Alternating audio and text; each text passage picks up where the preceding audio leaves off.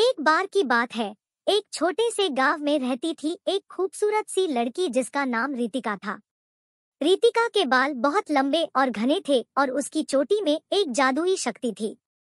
रितिका की चोटी किसी भी चीज़ को बाँध सकती थी और किसी भी ताकत को तोड़ सकती थी।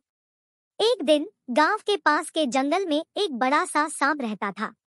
सांप बहुत भूख से परेशान था और वह हर रात गाँव में आकर लोगों को परेशान करता था।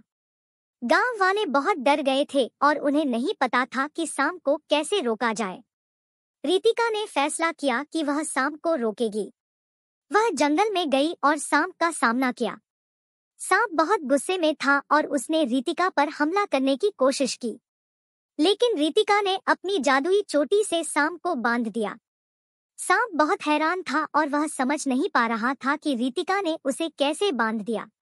रितिका ने सांप से कहा तुम्हें भूख लगी है, ना? मैं तुम्हें खाने दूँगी। लेकिन तुम गाँव वालों को परेशान नहीं करोगे। सांप बहुत खुश हुआ और उसने रितिका की बात मान ली।